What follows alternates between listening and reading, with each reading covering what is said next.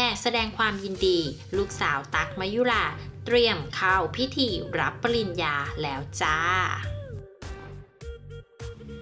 เป็นอีกหนึ่งครอบครัวที่น่ารัก และมีแฟนคลับติดตามจำนวนมากเลยล่ะค่ะสำหรับครอบครัวของนักแสดงรุ่นใหญ่มากความสามารถอย่างตักมายุรากับสามีหนุ่ยธาดาสเวศิลา ซึ่งก่อนหน้านี้พวกเขาก็เจอประเด็นใหญ่หลังจากที่โลกออนไลน์ทราบว่าลูกบุญธรรมน้องน้ำตาลนัชชา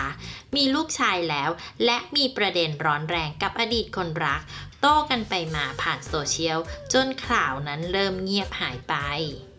แต่ว่าวันนี้เราจะพาไปแสดงความยินดีกับสาวน้ำตาลกันค่ะ เพราะเธอนั้นกำลังจะเตรียมเข้ารับปริญญาแล้ว โดยโพสต์ภาพของตัวเองในชุดครุยผ่านทางอินสตาแกรมพร้อมระบุข้อความว่า ขอเชิญชวนพ่อแม่พี่น้องลุงป้านาอาเพื่อนๆ ทุกๆทท่าน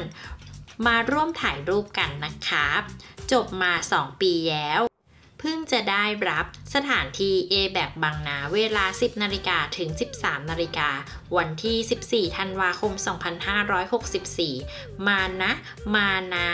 ท่ามกลาง ชาวเน็ตก็เข้ามาแสดงความยินดีกันจำนวนมากเลยล่ะค่ะขอร่วมแสดงความยินดีกับน้ำตาลด้วยนะคะ และเพื่อที่จะไม่พลาดคลิปใหม่ๆ อย่าลืมกดติดตามค่ะ